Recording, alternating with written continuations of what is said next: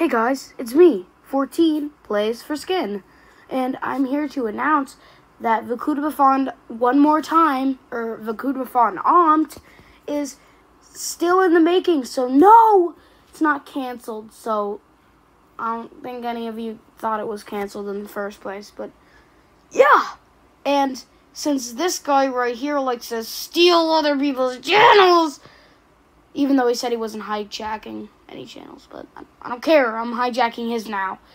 Only for today, for this special announcement.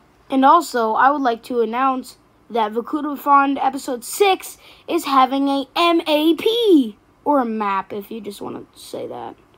Yeah, a bunch of people are going to be reanimating uh, Vakudafond 6 set. And also, the last thing I would like to announce is that I will be showing the voice actors for Vakudabafond one more time. Yeah!